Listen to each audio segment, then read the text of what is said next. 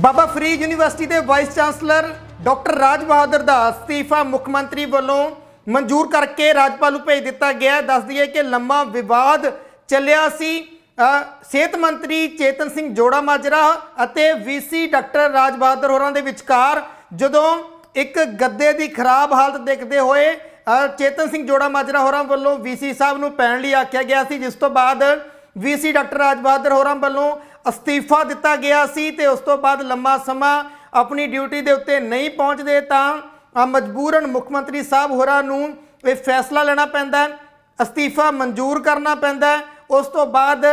ਬਹੁਤ ਸਾਰੇ ਬੰਦੇ ਜਿਹੜੇ ਸੀਗੇ, ਹੋਰ ਵੀ ਰਾਜਨੀਤਿਕ ਧਿਰਾਂ ਸੀ, ਰਾਜਨੀਤਿਕ ਨੇਤਾ ਸੀ ਵੀਸੀ ਡਾਕਟਰ ਰਾਜ ਬਹਾਦਰ ਹੋਰਾਂ ਦੇ ਕੋਲ ਪਹੁੰਚੇ ਸੀ ਜਦੋਂ ਇਹ ਪੂਰਾ ਵਿਵਾਦ ਛਿੜਦਾ ਸੀ। ਤਿੰਨ ਧੜੇ ਲੋਕਾਂ ਦੇ ਵਿੱਚ ਵੀ ਬਣ ਗਏ ਸੀ। ਉਹਨਾਂ ਵਿੱਚੋਂ ਇੱਕ ਧੜਾ ਅਜਿਹਾ ਸੀ ਜਿਹੜਾ ਕਹਿੰਦਾ ਸੀ ਕਿ ਵੀਸੀ ਡਾਕਟਰ ਰਾਜ ਬਹਾਦਰ ਜਿਹੜੇ ਹੈਗੇ ਨੇ ਆਪਣੀ ਜਗ੍ਹਾ ਤੇ ਸਹੀ ਹੈ, ਉਹਨਾਂ ਦੇ ਨਾਲ ਅਜਿਹਾ ਧੱਕਾ ਨਹੀਂ ਹੋਣਾ ਚਾਹੀਦਾ ਸੀ। ਦੂਜਾ ਧੜਾ, ਚੇਤਨ ਸਿੰਘ ਜੋੜਾ ਮਾਜਰਾ ਸਿਹਤ ਮੰਤਰੀ ਹੋਰਾਂ ਦੇ ਹੱਕ ਦੇ ਵਿੱਚ ਚਲਾ ਜਾਂਦਾ ਉਹ ਕਹਿੰਦੇ ਕਿ ਸਿਹਤ ਮੰਤਰੀ ਹੋਰਾਂ ਨੇ ਬਿਲਕੁਲ ਠੀਕ ਕੀਤਾ ਜਿਹੜੇ ਗੱਦਿਆਂ ਦੇ ਉੱਤੇ ਲੋਕਾਂ ਨੂੰ ਪੈਣਾ ਪੈਂਦਾ, ਤਾਂ ਉਹਨਾਂ ਦੇ ਉੱਤੇ ਜੇਕਰ ਵੀਸੀ ਸਾਹਿਬ ਪੈ ਜਾਂਦੇ ਆ, ਤਾਂ ਫਿਰ ਕੀ ਆਫਤ ਆ ਗਈ? ਇੱਕ ਧੜਾ ਤੀਜਾ ਅਜਿਹਾ ਵੀ ਰਹਿੰਦਾ ਹੈ, ਜਿਹੜਾ ਇਹ ਕਹਿੰਦਾ ਕਿ ਜੇਕਰ ਵੀਸੀ ਸਾਹਿਬ ਆਪਣੀ ਥਾਂ ਗਲਤ ਸੀ, ਤਾਂ ਰਵਈਆ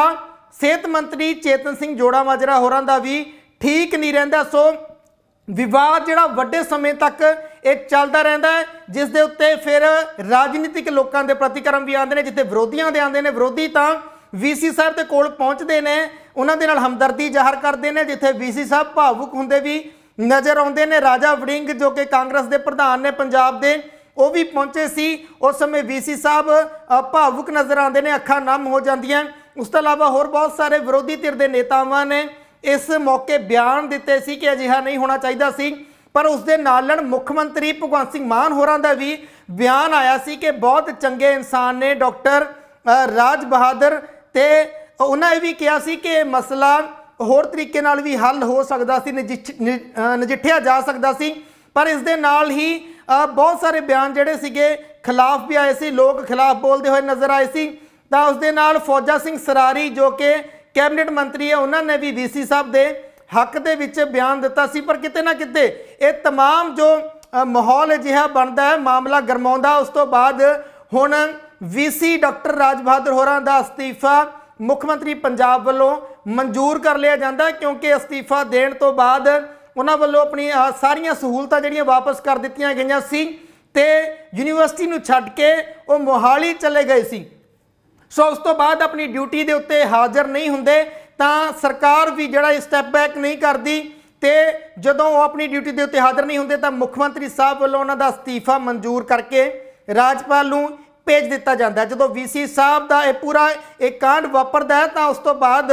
ਵੀਸੀ ਸਾਹਿਬ ਦੇ ਖਿਲਾਫ ਬਹੁਤ ਸਾਰਾ ਸਟਾਫ ਵੀ ਉਤਰਦਾ ਬਹੁਤ ਸਾਰੇ ਲੋਕ ਜਿੱਥੇ ਹੱਕ 'ਚ ਉਤਰਦੇ ਨੇ, ਵੱਡੇ ਡਾਕਟਰ ਜੋ ਇਹਨਾਂ ਦੇ ਨਾਲ ਕੰਮ ਕਰਦੇ ਰਹੇ ਨੇ, ਤਾਂ ਉਸ ਦੇ ਨਾਲ ਹੀ ਕੁਝ ਉਹ ਮੁਲਾਜ਼ਮ ਜਿਹੜੇ ਅੰਡਰ ਕੰਮ ਕਰਦੇ ਨੇ ਵੀਸੀ ਡਾਕਟਰ ਰਾਜ ਬਹਾਦਰ ਹੋਰਾਂ ਦੇ, ਉਹ ਖਿਲਾਫਤ ਦੇ ਵਿੱਚ ਵੀ ਉਤਰਦੇ ਨੇ। ਮੌਕੇ ਦਾ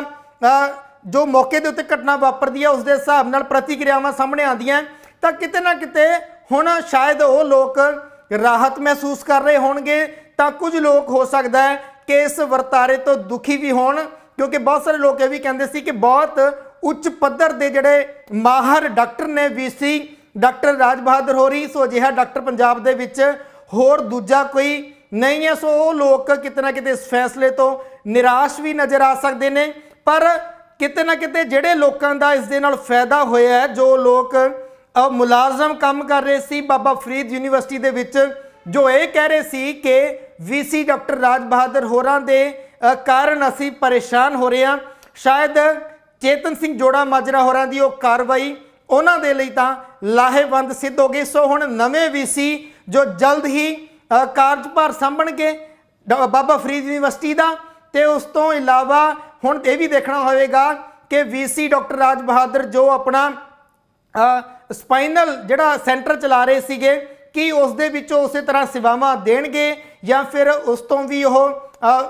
ਉਸ ਸੈਂਟਰ ਨੂੰ ਵੀ ਬੰਦ ਕਰ ਦੇਣਗੇ? ਕਿਉਂਕਿ ਉੱਥੇ ਵੀ ਬਹੁਤ ਸਾਰੀਆਂ ਸੇਵਾਵਾਂ ਉਹ ਆਪਣੇ ਪੱਧਰ ਦੇ ਉੱਤੇ ਦੇ ਰਹੇ ਸੀ। ਜਦੋਂ ਉਹ ਅਸਤੀਫਾ ਦਿੰਦੇ ਨੇ, ਤਾਂ ਫਿਰ ਉਸ ਤੋਂ ਤੁਰੰਤ ਬਾਅਦ ਹੀ ਉੱਥੇ ਹੀ ਉਹ ਸੇਵਾਵਾਂ ਕਰਦੇ ਹੋਏ ਨਜ਼ਰ ਆਉਂਦੇ ਨੇ, ਜਿੱਥੇ ਉਹਨਾਂ ਨੂੰ ਕਾਂਗਰਸ ਦੇ ਪ੍ਰਧਾਨ ਰਾਜਾ ਵੜਿੰਗ ਵੀ ਜਾ ਕੇ ਮਿਲਦੇ ਨੇ, ਬਹੁਤ ਸਾਰੇ ਹੋਰ ਲੋਕ ਵੀ ਮਿਲਦੇ ਨੇ। ਸੋ ਹੁਣ ਉਹ ਸੇਵਾਵਾਂ ਜਿਹੜੀਆਂ ਦੇ ਰਹੇ ਨੇ ਸਪਾਈਨਲ ਸੈਂਟਰ ਦੇ ਵਿੱਚ, ਉਹ ਪਰਸਨਲੀ ਸੇਵਾਵਾਂ ਦੇ ਰਹੇ ਨੇ, ਜਦੋਂ ਸਰਕਾਰੀ ਅਹੁਦੇ ਤੋਂ ਅਸਤੀਫਾ ਦਿੰਦੇ ਨੇ, ਕਿ ਉਹ ਸੇਵਾਵਾਂ ਚੱਲਦੀਆਂ ਰਹਿਣਗੀਆਂ ਜਾਂ ਫਿਰ ਉਹ ਵੀ ਉਹ ਬੰਦ ਕਰ ਦੇਣਗੇ ਹੁਣ? ਬਿਲਕੁਲ ਆਪਣਾ ਜਿਹੜਾ ਕੈਰੀਅਰ ਹੈਗਾ ਉਸ ਨੂੰ ਇੱਥੇ ਹੀ ਉਹ ਇਸ ਦੇ ਉੱਤੇ ਫੁੱਲ ਸਟਾਪ ਲਗਾ ਕੇ ਘਰ ਬਹਿ ਜਾਣਗੇ तमाम ਸਵਾਲ ਇਹ ਜਿਹੜੇ ਹੈਗੇ ਨੇ ਤਾਂ ਇਹਨਾਂ ਦੇ ਉੱਤੇ ਵੀ ਹੁਣ ਕਿਤੇ ਨਾ ਕਿਤੇ ਗੌਰ ਕਰਨ ਦੀ ਬਣਦੀ ਹੈ ਤਾਂ ਵੱਡਾ ਵਿਵਾਦ ਜਿਹੜਾ ਅ, ਖੜਾ ਹੋਇਆ ਸੀ ਉਸ ਦਾ ਉਸ ਦਾ ਜਿਹੜਾ ਪ੍ਰਤੀਕਰਮ ਉਸ ਦੇ ਪ੍ਰਤੀਕਰਮ ਦੇ ਵਜੋਂ ਬਹੁਤ ਸਾਰੇ ਲੋਕਾਂ ਨੇ ਬਿਆਨਬਾਜ਼ੀਆਂ ਵੀ ਕੀਤੀਆਂ ਸੀ ਵੀਸੀ ਸਾਹਿਬ ਨੇ ਅਸਤੀਫਾ ਵੀ ਦਿੱਤਾ ਸੀ ਮੁੱਖ ਮੰਤਰੀ ਸਾਹਿਬ ਵੱਲੋਂ ਉਹਨਾਂ ਦੇ ਹੱਕ ਦੇ ਵਿੱਚ ਬਿਆਨ ਦਿੱਤਾ ਗਿਆ ਸੀ ਤਾਂ ਮੰਤਰੀਆਂ ਵੱਲੋਂ ਵੀ ਕੁਝ ਮੰਤਰੀਆਂ ਦੇ ਵੱਲੋਂ, ਹੱਕ ਦੇ ਵਿੱਚ ਤੇ ਕੁਝ ਦੇ ਵੱਲੋਂ ਖਿਲਾਫਤ ਵੀ ਕੀਤੀ ਗਈ ਸੀ।